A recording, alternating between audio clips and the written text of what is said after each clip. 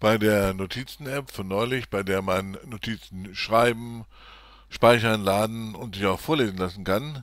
Da scheint es wohl so zu sein, das läuft ganz gut mit dem Vorlesen unter Android 12 und 13. Aber so alles, was vor Android 12 war, also 10 und 11, da bleibt der Lautsprecher stumm.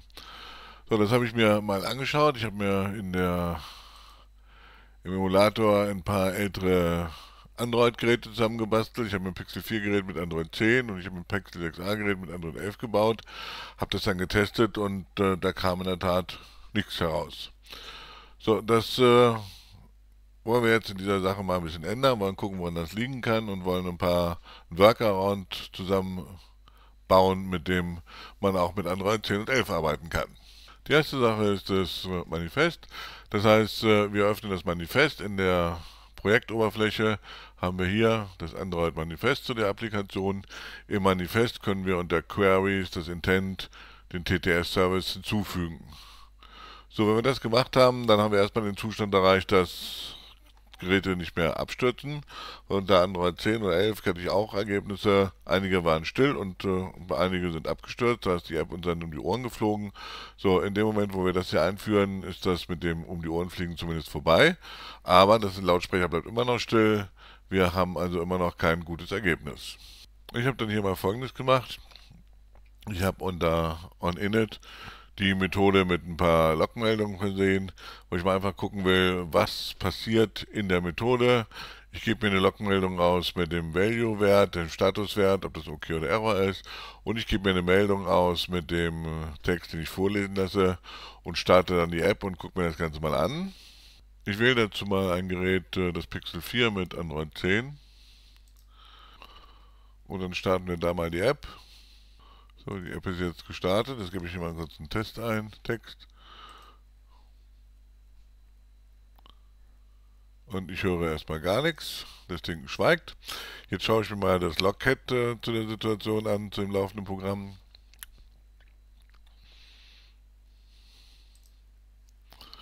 Das haben wir hier. Das heißt, äh, ich bekomme noch eine Debug-Meldung Button vorlesen. Ich bekomme ein Successfully Bound to TTS und dann passiert nichts. So, das Ganze schaue ich mir jetzt mal alternativ dazu auf einem Gerät mit Android 12 an. Ich beende das also mal. Ich starte jetzt mal ein neueres, ein Gerät Pixel 7 mit Android 12. Ich starte dann die App auf diesem Gerät.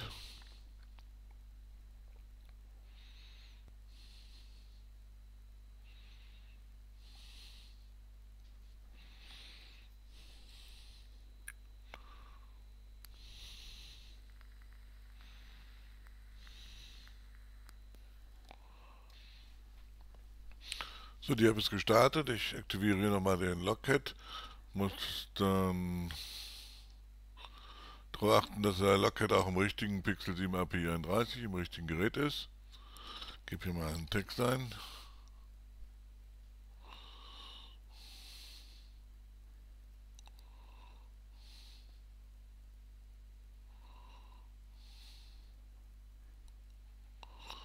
Und sag vorlesen.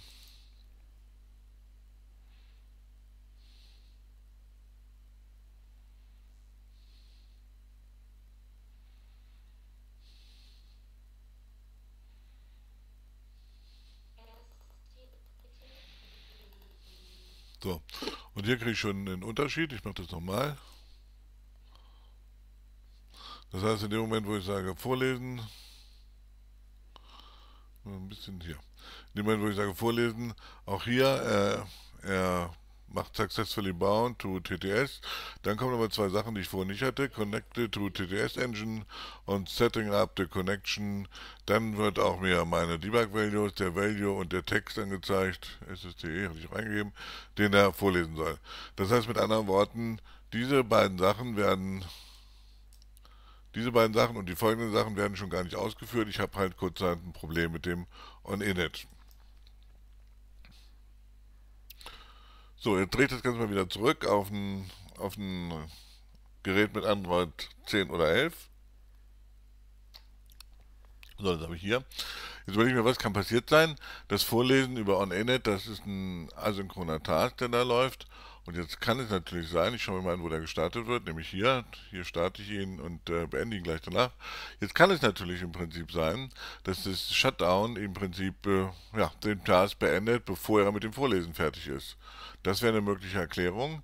Das Shutdown soll ich machen, damit die Ressourcen wieder freigegeben werden. Aber ich baue das Ganze einfach mal um, indem ich den Shutdown hier rausnehme und den in die in Abhängigkeit von der Android-Version einbaue. Das habe ich hier schon mal gemacht. Ich mache mal die Comments weg. Ich nehme ihn an dieser Stelle raus und sage, ich schaue erstmal nach, was für eine Version ich habe. Wenn ich über über bzw. größer gleich 12 bin, dann mache ich den Shutdown, ansonsten mache ich ihn hier nicht. Fairerweise müsste ich ihn dann allerdings irgendwo anders machen, weil er wird empfohlen laut Dokumentation, damit die Ressourcen wieder freigegeben werden. Aber erstmal, wenn ich mit Android 10 oder 11 arbeite, nicht an dieser Stelle, damit er mir nicht gleich wieder dazwischen haut. So, wenn ich das gemacht habe, dann probiere ich mal aus, wie sich das auf einem älteren Gerät verhält. Ich lasse es mal wieder übersetzen. So, das habe ich jetzt am Laufen.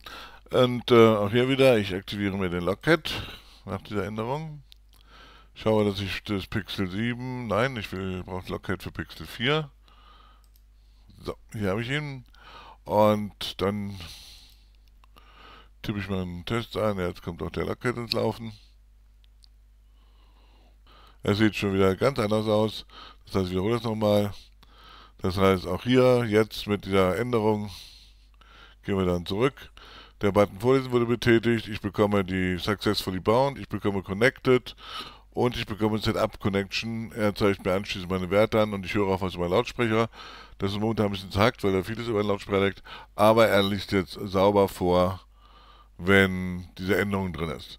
Das heißt, kurzer Hand, lange Rede, kurzer Sinn, um dieses Problem mit, den an, mit dem asynchronen Task zu lösen und dem Shutdown, da sagen wir einfach, wenn du an, wenn du kleiner Android 12 bist, dann machen wir nicht den Shutdown direkt hier an dieser Stelle, sondern bauen den woanders ein und dafür bekommen wir dann ein sauberes Vorlesen. So, ich habe nochmal einen Text getippt, jetzt wollen wir nochmal testen.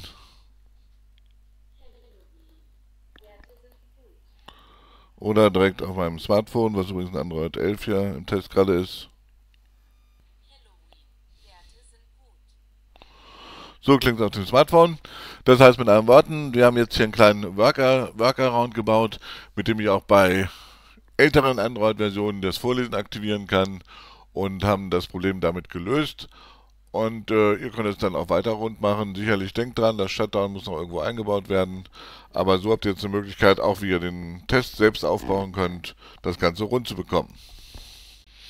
Und wie immer gilt natürlich, diesen Text über dieses Video und auch über die anderen Videos könnt ihr bei uns im Blog nachlesen.